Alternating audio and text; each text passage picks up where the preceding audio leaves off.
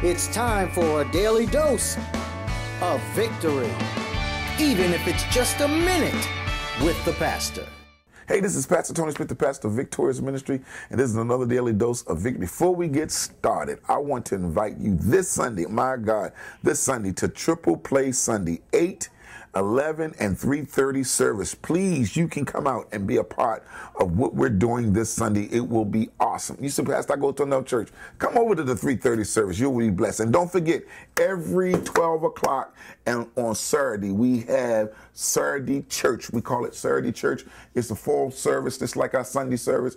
It's at 12 noon, and you can be a part of that. We talk on the subject of working with what you have, learning to deal with what you have, being accountable. Do you understand that there are 365 days a year? There are seven days in a week. There is 24 hours in one day. My question to you is why, through all these days that God give you, through all these weeks that God allowed you to go through seven days during the week, and how God allows you to go through 24 hours of a day, why you cannot give God four hours out of your life a week.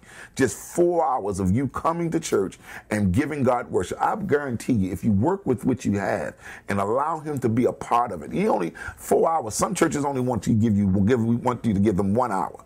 But if you just invest your time in God in the area of all those days in the year and all those weeks that you have opportunity, seven days out of a week and 24 hours out of a day and 60 minutes in one hour. If you would dedicate just four hours a week towards God, I will guarantee you that what you have will multiply, what you have will increase, and what you have will bring joy to your life.